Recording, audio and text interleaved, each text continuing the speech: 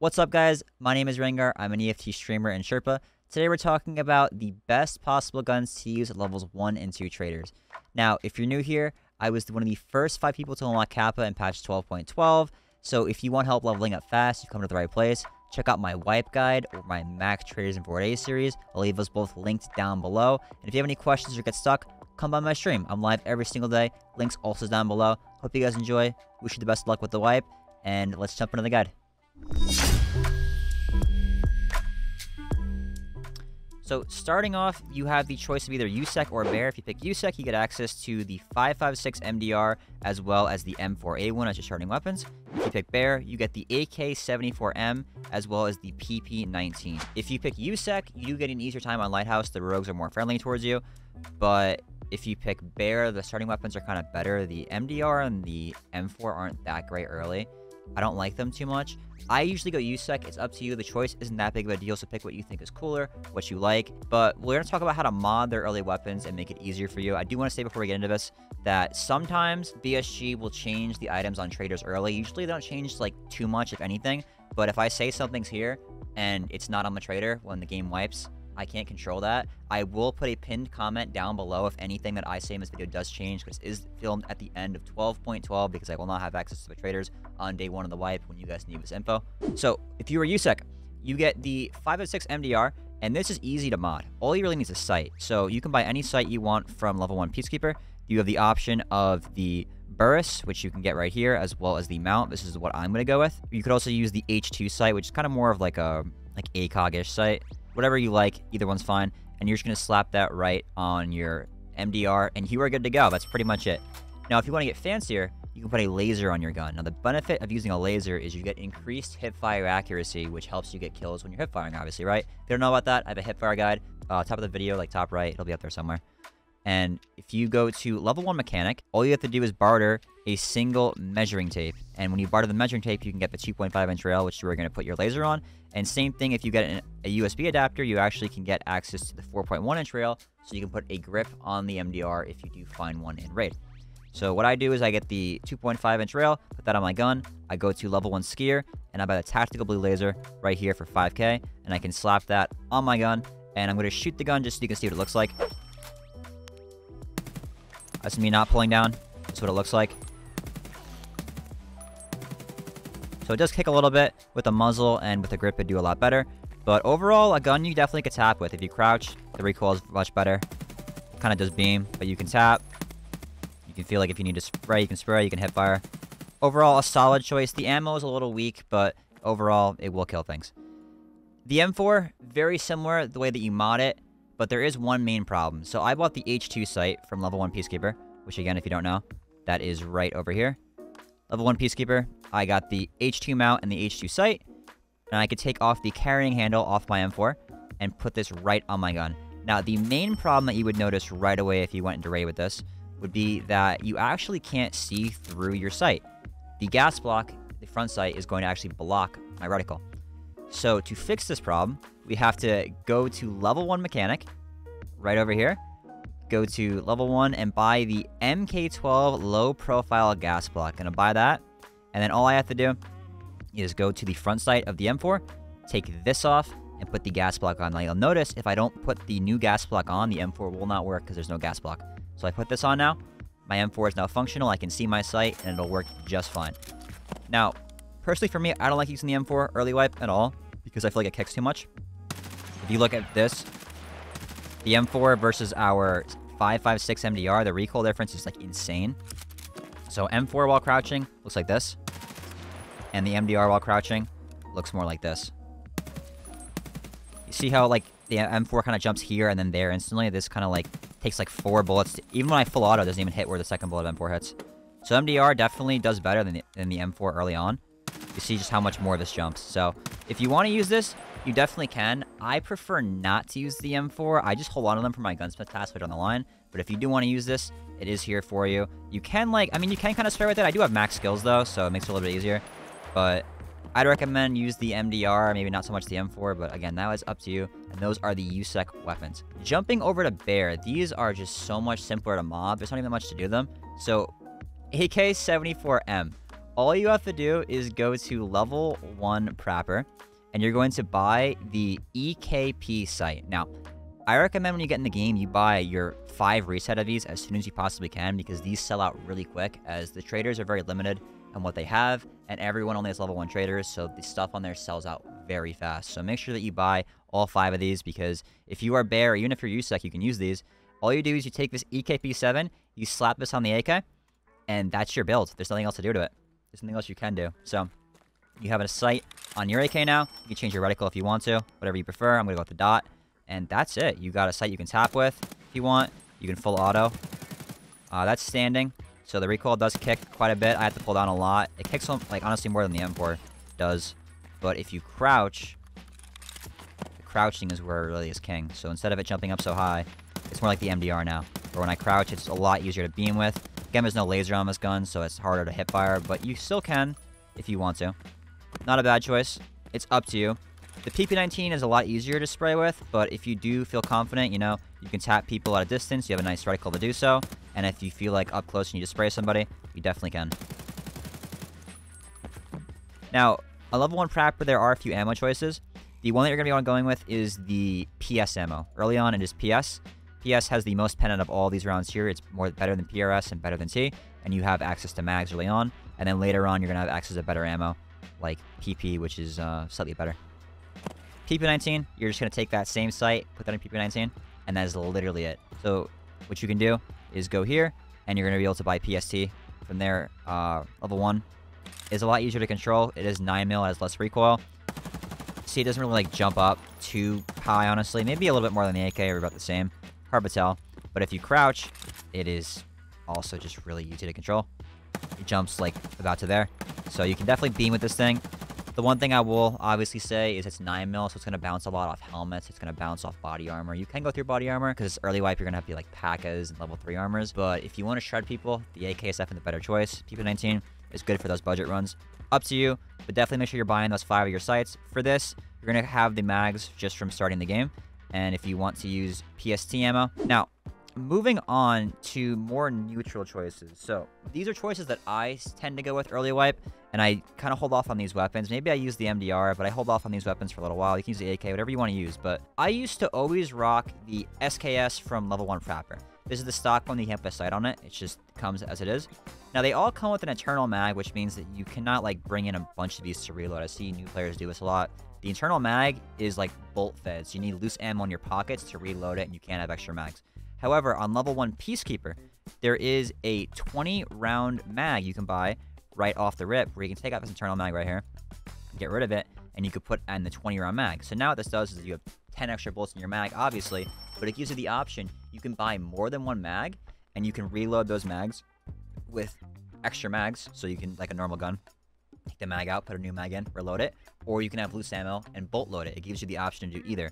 I usually just bring one extra mag when I do this, so I'd bring the SKS, I'd go ahead and buy one extra mag, and I could fill it up with some PS ammo. You'll see it looks like this.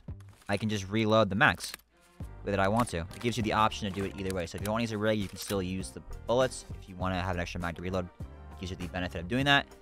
The problem with the SKS being that the iron sights have a very bad picture in this game. Other games, it's a, it's a lot nicer to look down the iron sights, but in this one, it's kind of hard to hit those follow-up shots because your gun jumps so much. So the way that I get around this is if you go to the SKS and take off the rear sight, just drag it off the gun. You still shoot extremely accurately. Look at that sight picture. So look at this. See the target? Look at how I'm pretty much hitting directly on the target. If I aim at his stomach right here, it's like a little bit higher than my sight. So it's not directly on it, but like look at how accurate that is still. It's it's pretty good. You know, it still does hit exactly where you like not exactly, but pretty much like where you want it to. So you get a better FOV and it makes your life a lot easier.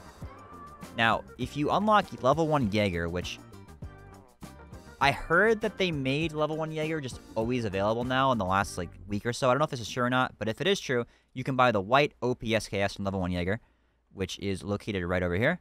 And the OPSKS costs about 5 or maybe it's 10k more than the brown SKS. It has a dovetail mount. So what that means is this sight that we've been using all day, the EKP, we can now put on the SKS so we can have our 20 round mag and we can use a sight.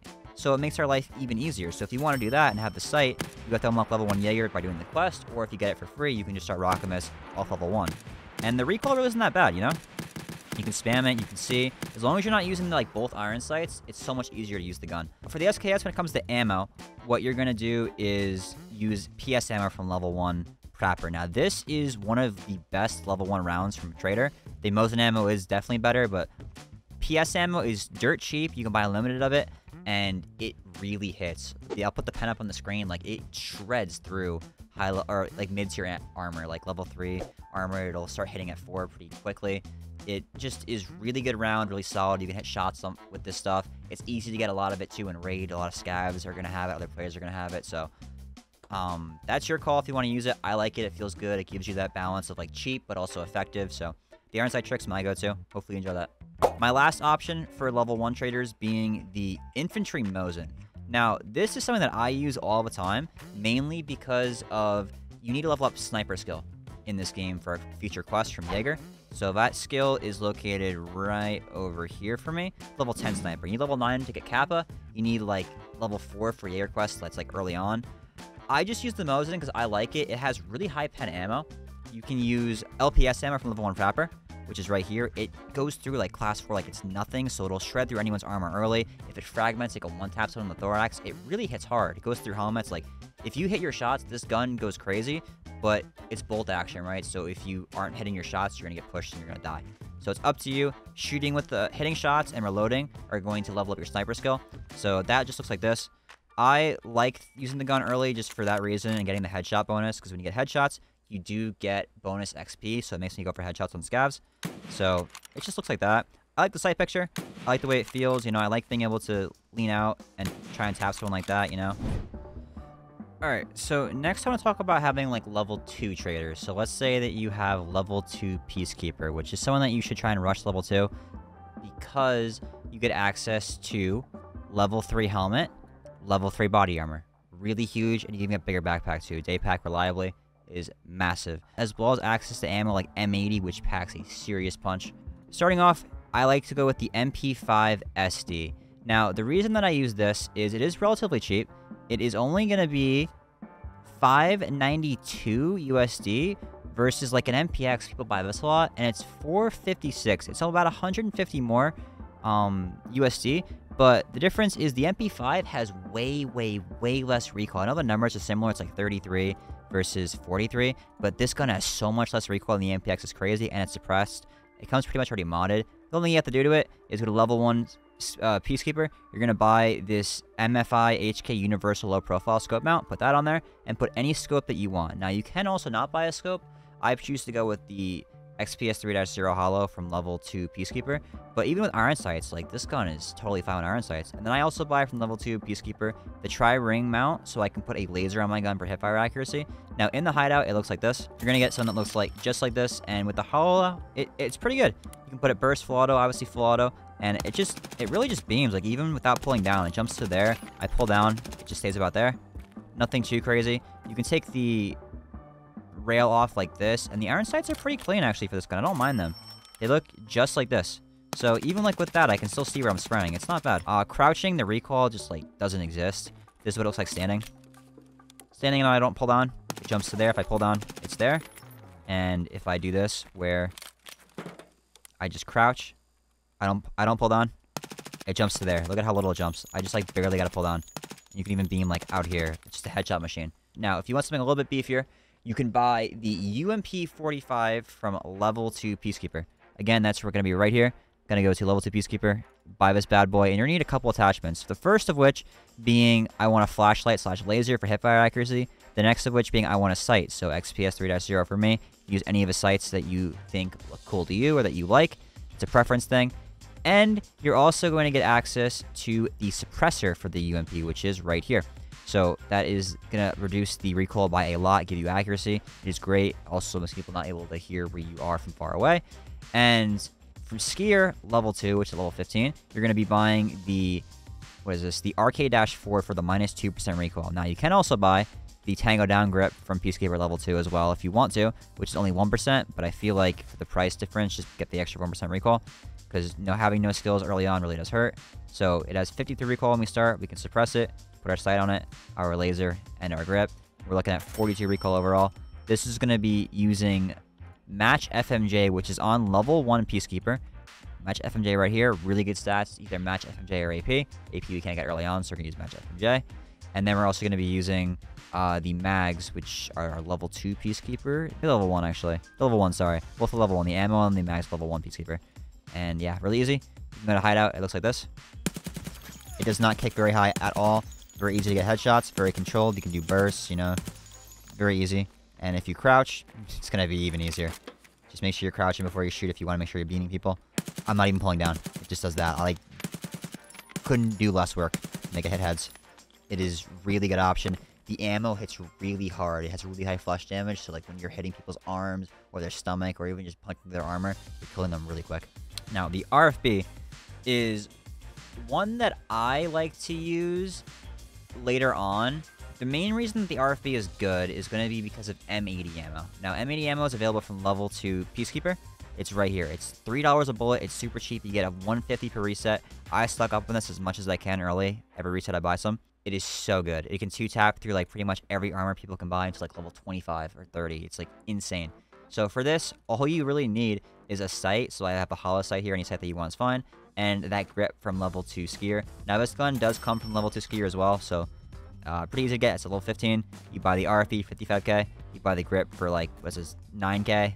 And then you could buy the sight for how much it is. You get your mags from level 2 Peacekeeper as well. Those are going to be located right over here. Level 2 Peacekeeper, you're going to buy those, and then you get the ammo as well. And this is what it looks like when you shoot it. Now, I'm going to try and spam it so you see get the idea for the recoil. I'm not going to pull down. Just spamming it. It does kick quite a bit, but if you take it, like, for controlled bursts, like, it's really not bad. If you just don't go super crazy. The main downside of this gun being no laser. That's gonna what I'm going to say right now. No laser does make this a unfortunate gun to use early on. But if you crouch, you know, and you want to tap people, it's two tap to the chest. That kills anyone early life. Anyone. Level 4 or lower armor.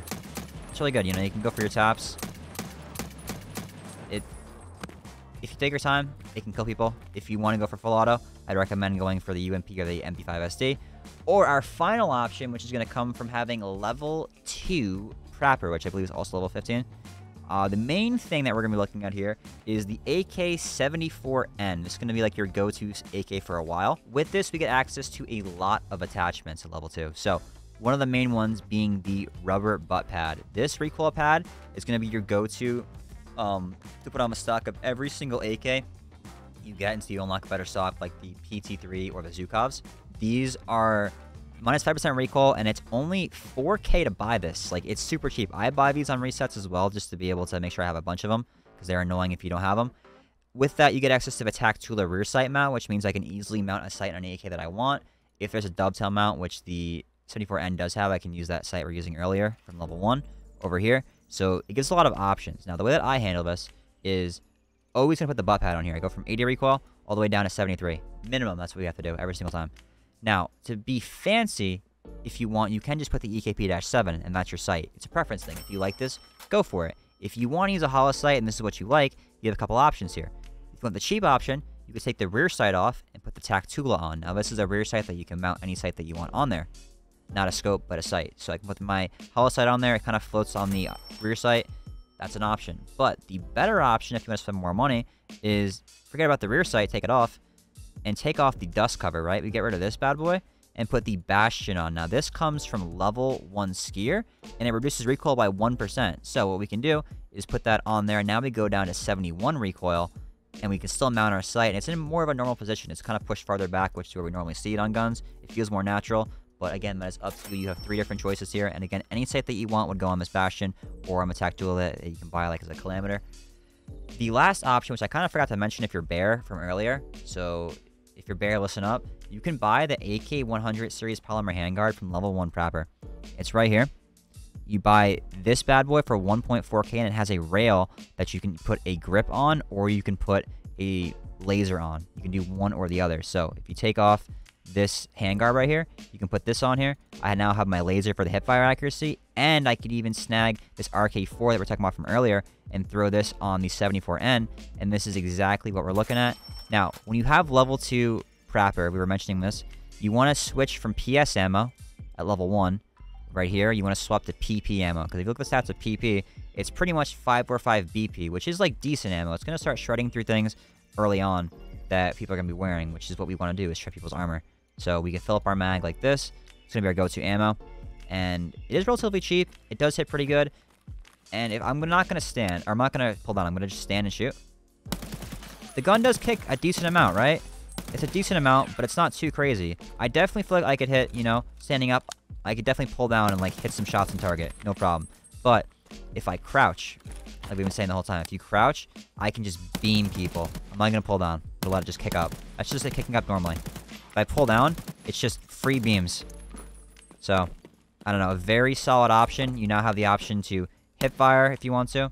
You can sit there, you can hip fire. You can beam from far away. You can, you know, tap if you have to. Tap, tap, spray if you need to. Really solid choice. Would definitely be one of my go-tos. Again, I use the Mosin mostly. That's going to be just because I want the sniper skill. But, like, this would... This and the would be my go-tos personally for my playstyle. Now, these are my go-to options from level 2 traders. Again, the choice is yours. I would probably go with the 74N if it were me. The ammo does hit. You can spray it. You can tap it. It gives you a lot of versatility. Let me know down in the comments what you guys think is the best one of these options. There are, of course, other options like the 556 Scar from level 2 Peacekeeper. Uh, you can make that work if you would like to. It is very expensive. I don't think it's worth the price per se. When you can mod it more later on, it is worth it, but right now I don't think so. And the MPX, again, is way too much recoil compared to the MP5. It's not even worth trying to save like the 100 USD. I wouldn't even worry about it. There is also the 45 Vector that you can get from level 2 uh, Skier. The only problem being the mags are like impossible to get. So the way that you'd have to do that is by getting strike cigarettes and weapon parts. If you can do the barter for this, go for it. It's literally as simple as grip and sight, and then you would just go over here and buy a match FMJ level 1, and you could shred people. So if you get the chance to do that, go for it. If not, that's level 2 traders. That's what I would use. I hope you guys enjoy that. Guys, thank you so much for watching. That was the video. If you have any questions, come by the stream. We're going to be live every day throughout the wipe. Just getting in those hours. So come by, ask your questions, and hit that sub button on YouTube if you enjoy the content. We have tons of great guides coming. We have great ones on the channel already. Hope they help you out, guys, and wish you the best of luck with the new wipe.